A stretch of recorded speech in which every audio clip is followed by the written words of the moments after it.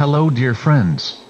There is no honey in nature now, but it is not too cold, there are almost no flights of bees. All families receive feeding with sugar syrup. This is a large family of bees of Carnica breed. The hive has a lot of honey for wintering. Therefore, the syrup is taken a little. We see many passive bees for which there is no work in the hive. This family was an offshoot, which closer to autumn became more or less strong. Honey is not enough. Pay attention to diagnosis. We received very strong signals of work.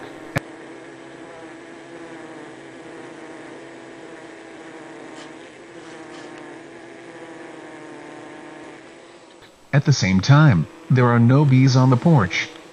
Bees do not fly anywhere. Our signals mean that almost the whole family is busy with syrup processing and replenishing of winter stocks. There are not a lot of bees, and they are almost all busy with work.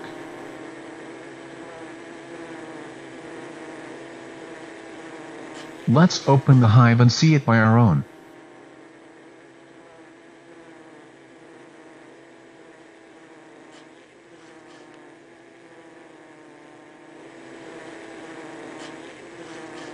Yes, there is a lot of syrup in the feeder.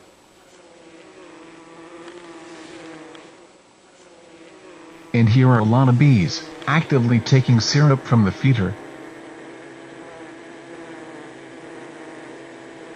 Another family, these are also bees of the Carnica breed. There are a lot of bees, this is a full-fledged family.